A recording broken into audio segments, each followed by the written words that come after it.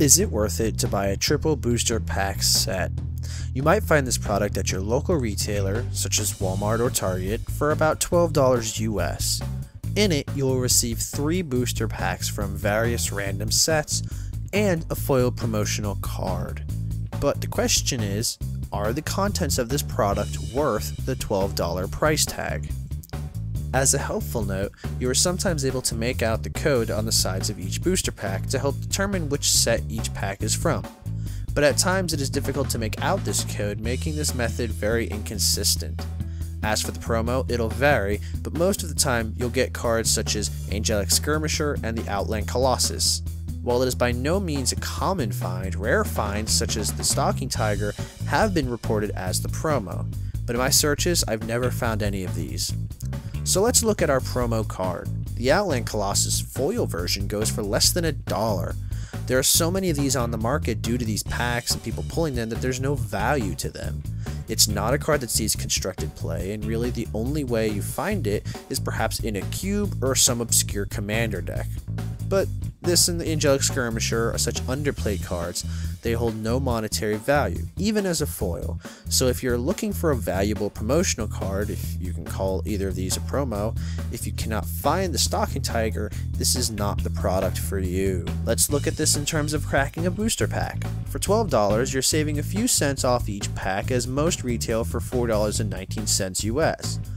So for three booster packs, you're paying $4 on each.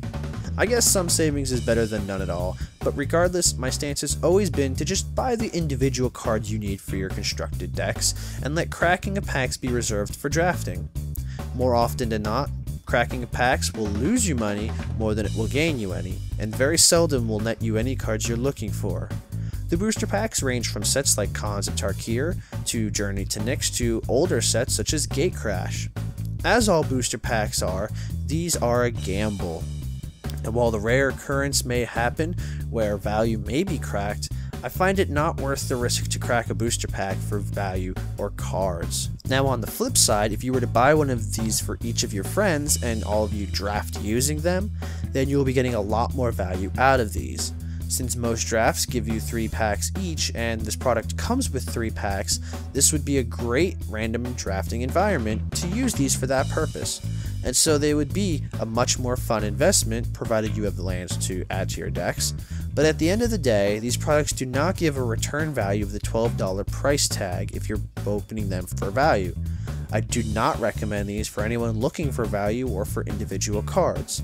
With the money you would spend opening individual booster packs to get the amount of cards you would need for your constructed decks, you could just as easily buy them individually from your local game store or an online site, and you would have a lot of money to spare. I hope this video has been of some use to you. You can help us out at the Planeswalker Project by remembering to like and share this video with your Magic the Gathering playgroup. Also, if you're new to the channel, I'd like to welcome you, and I hope you consider becoming a subscriber today. And with that, I will see you all in the next video.